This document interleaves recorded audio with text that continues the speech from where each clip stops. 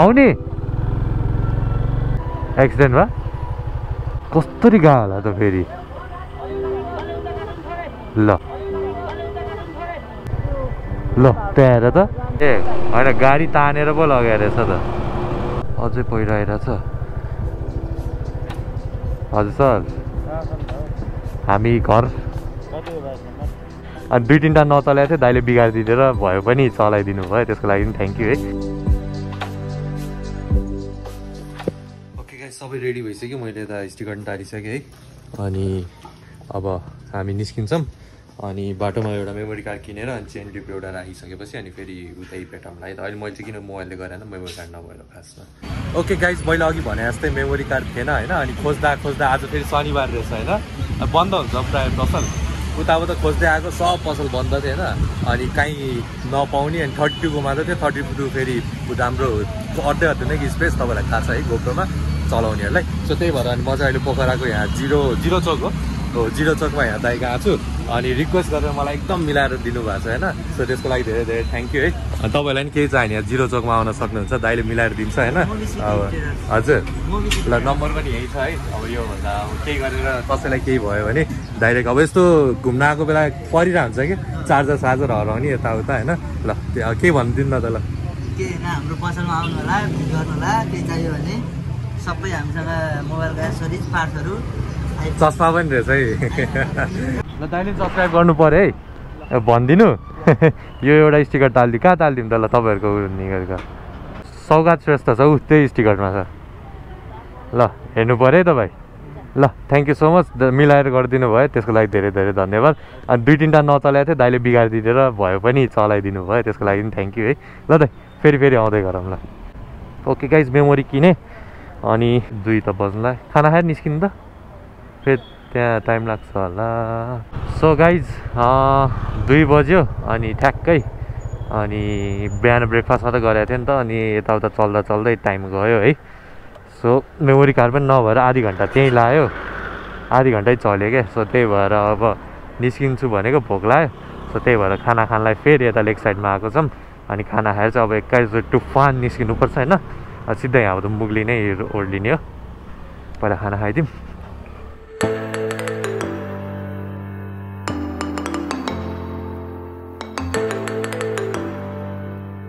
हामी एक बजी निस्किने प्लान थियो साढे एकमा अघि मेमोरी कार्ड किने अब दुई बजे निस्किने भनेको फेरि खाना खाएँ साढे दुई भयो अब चाहिँ काहीँ नरहिकन कतै okay guide so Pokhara live गर्न लाग्यो हामीले है अनि अब बिग्रेको बाटो पनि सुरु हुन हुन लाग्यो अनि यस्तो डेन्जर अफ रोड छ यहाँ होइन? अस्ति रात परिसकेको थियो आउँदाखेरि।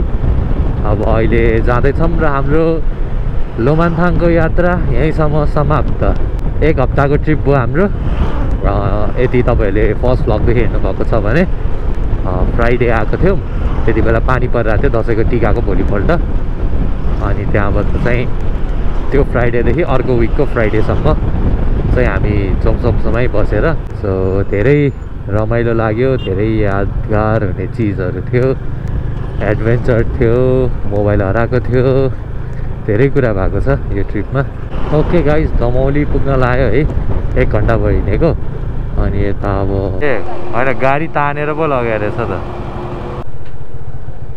अझै पहिरो धत्। एक हप्ता भइसक्यो अझै पनि पहिरो छ कि?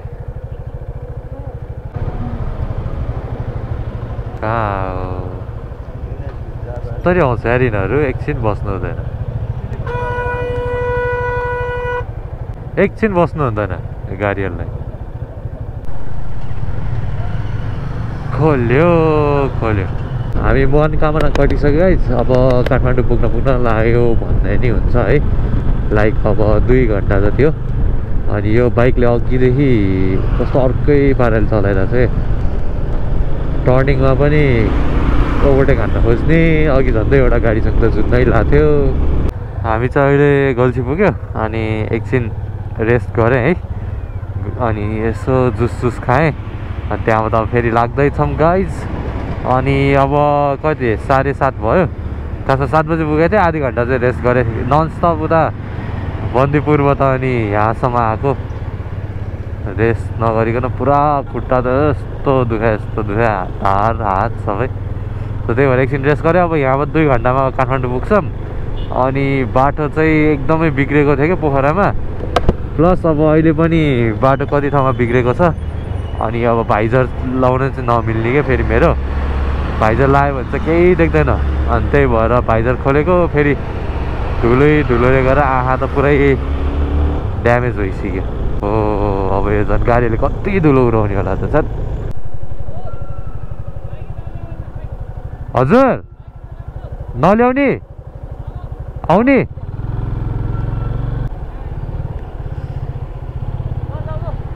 अपुई एक्सिडेन्ट भयो एक्सिडेन्ट भयो सर हेर न अनि यहाँबाट खस्या भएर जान्थ्यो त। त्यो त अब झन् हर्क्यो फेरि। त्यही भएर गाडीहरू किन नआएको माथिबाट भनेर भर्खरै भयो होला यो। कस्तरी गयो होला त फेरि। ल किन पिडाएको होला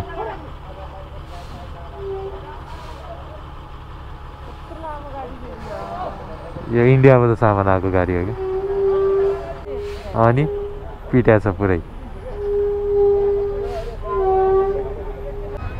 ट्राफिकहरूलाई पनि टेन्सन के यो बाटोमा है?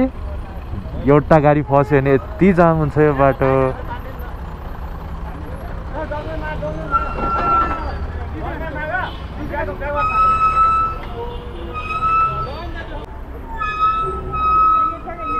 हजुर म के गरौँ जाउँ सर।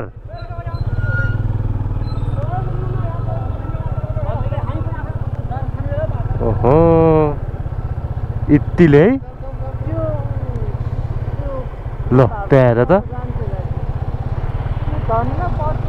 त्यो ढुङ्गाले बचायो त्यसलाई। है डेन्जर होइन त। त्यो यहाँबाट खस्या भए फेरि तलकै रोडमा पुग्छ क्या त्यो। तलको रोडमा त पुग्थ्यो तर त्यो अर्को गाडीमा पर्थ्यो। कस्तरी गएको छ त्यो छेउमा। त्यो त बचेको हेर चाहिँ यो बाटो त्यस्तै डेन्जर त्यही भएर राम्रोसँग चलाउनु पर्छ कि। गाडीहरू बाइकहरू ओके फाइनली थाङकोट पुग्यो थाङकोट पुग्यो कहाँबाट जाने हो सेकिङ सेकिङ के रोक भने।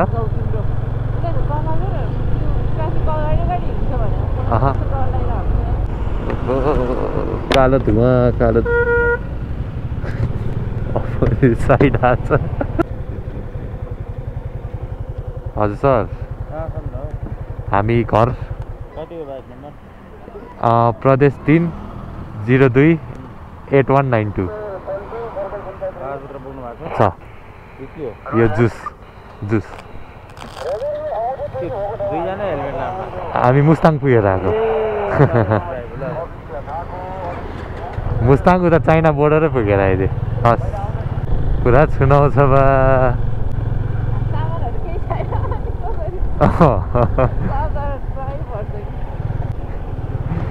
यसरी मुस्ताङ पुग्यो है? सामानै नलगिकन। म किनकिन यहाँ चेकिङ हुन्छ भने शङ्का लागिरहेको थियो क्या। यो जुस राखेको त्यसले त कति नै के के होला भन्छ अरे होला के हो यो? पुरा यस्तो छाम्दै थियो।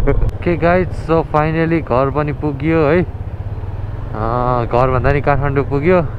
After a long trip one विकको ट्रिप पुरा भयो म मुस्ताङ पुगियो गाइस फाइनली सोचेको थिएन त्यहाँसम्म पुगिन्छ भनेर है। सो देख्नुभयो अरे तपाईँले धन्न बाइकले थाम्यो कि दियो कि बाइकले।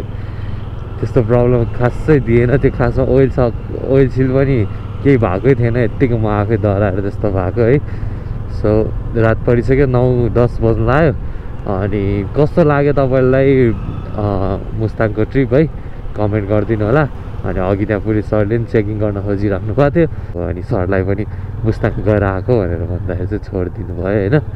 सोच्नु भयो होला कि अब त्यहाँसम्म पुगेर आएको मान्छेको त अब लाइसेन्स बिल त भइहाल्छ नि भनेर। सो त्यही नै guys thank you so much for watching my video अनि सब्सक्राइब गरेको छैन भने गरिदिनु होला। यति भन्दै यो भ्लग यहीँसम्म। अनि अब फेरि यो मुस्ताङको सकिसक्यो। अब पछि फेरि तिहारतिर नि कतै जाने सोच्दैछु। सो अब चाहिँ यसरी भ्लगहरू पनि पेल्नु पऱ्यो प्लस अब रमाइलो गर्नलाई घुम्न डुल्नु पनि पऱ्यो है त गाइज